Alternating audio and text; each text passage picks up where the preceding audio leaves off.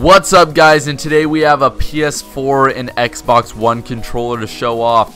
This controller right here features a black base paint, red paint splatters, red inserts all around, and then you know just the stock LEDs. You can see the gloss on these things are insane with our industry standard clear coat. You can't go wrong with that.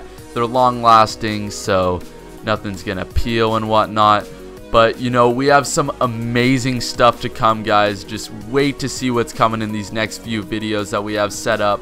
Um, we're going to be coming out with those as soon as possible, but stay tuned for that.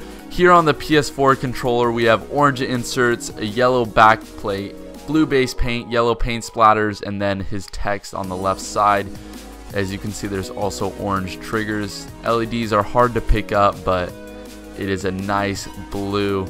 Um, these controllers always seem to turn out awesome. I love the PS4s because, you know, when you get a different bottom plate, it just kind of gives it that contrast from the front plate to the back plate. So that's pretty cool. But anyways, like I said, make sure to stay tuned for what we have in store for you guys. It's gonna be insane.